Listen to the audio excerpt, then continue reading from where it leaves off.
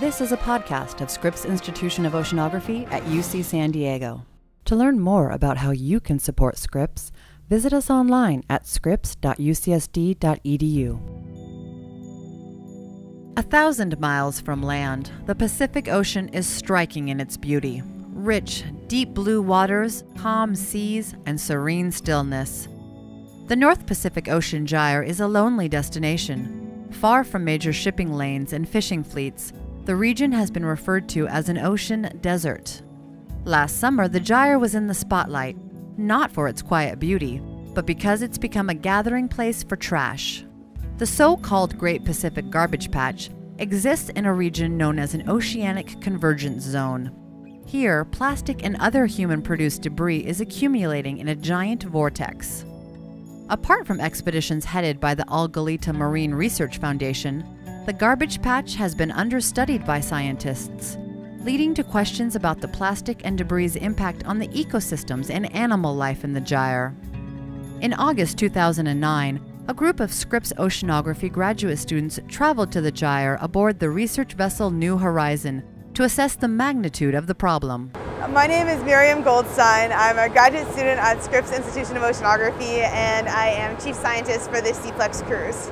Uh, the SEAPLEX Cruise is the Scripps Environmental Accumulation of Plastics Expedition. So we're out here going to the North Pacific Gyre to find out where the plastic is and what it's doing that's supposed to be accumulating out here.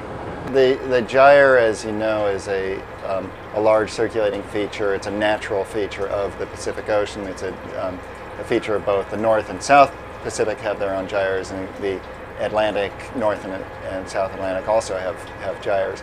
And gyres are um, circulating features where the water is, um, is essentially swept around um, and portions of that are circulating and retaining material, retaining water, potentially retaining buoyant material. My main role on this cruise is to uh, run the bongo sample, sample uh, bongo net and do the plankton sampling for that. And so I collect plankton and uh, we're preserving it for further analysis ashore.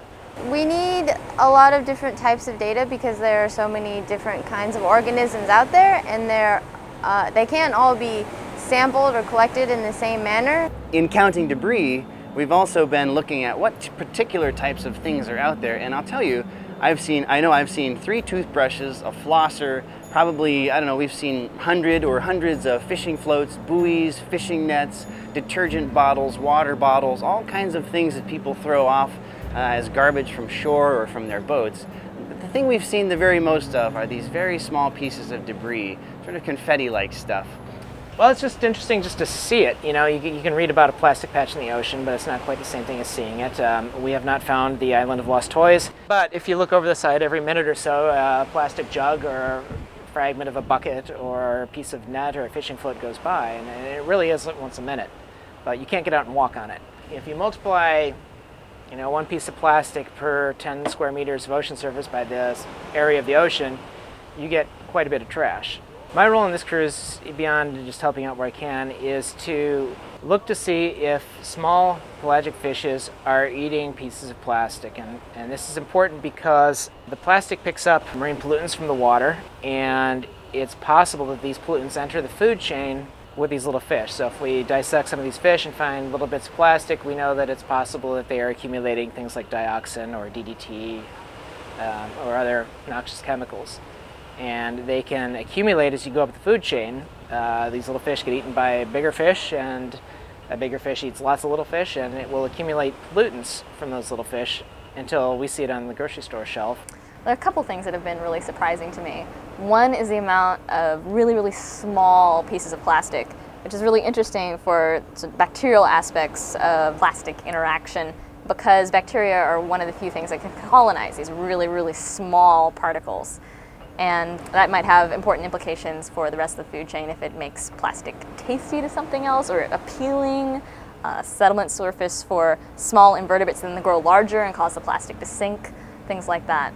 We got to a point yesterday where we started counting per minute and we got over 200 and to a point where it was so much that we literally dropped our pencils and just stared at it with mouths open and could not physically make an estimate of how much we were passing. So I would say there's a lot of plastic debris in the middle of this ocean. Well, I think the problem is actually a lot worse than we had ever imagined. Just seeing the density of flecks in a random location in the middle of the ocean, a thousand miles away from anything. I've never seen that much trash anywhere outside of like an inner city harbor. Um, so it's very disturbing that it's that there's that much out here and that it's all plastic. What surprises me the most is the way it makes me feel. Um, it's more depressing. I was really excited to come out here and get to experience this and be one of the first to come out here and see this offhand and it kind of makes you sad, almost wishing you didn't see um, what is actually out here in the ocean.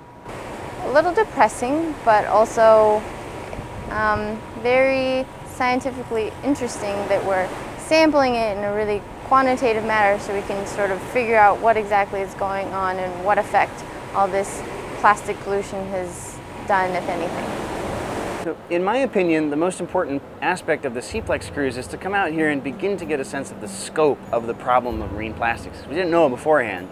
Now what we know is that we haven't yet seen the highest levels of debris. We don't know how much there is, but we know that there's a heck of a lot. So we could see all these amazing, cool creatures going about their business just below this thin layer of plastic. And I found that juxtaposition really sad. Because here's this very unstudied ecosystem where nobody hardly ever comes. And then there's all this stuff floating on the top that's sort of a sign of industrial society. And I, that was the first time I think on this trip that I started to feel really sad. We have a whole list of new questions that have come out of this cruise. Um, and they range just from basic science questions like the small scale circulation of water out here to applied questions like how do we sample the plastic that we know is in the deeper water but couldn't get to on this cruise. So we just, this cruise has given rise to a whole raft of new questions. So we certainly hope we'll be fortunate enough to take this data and at some point uh, follow it up on another cruise.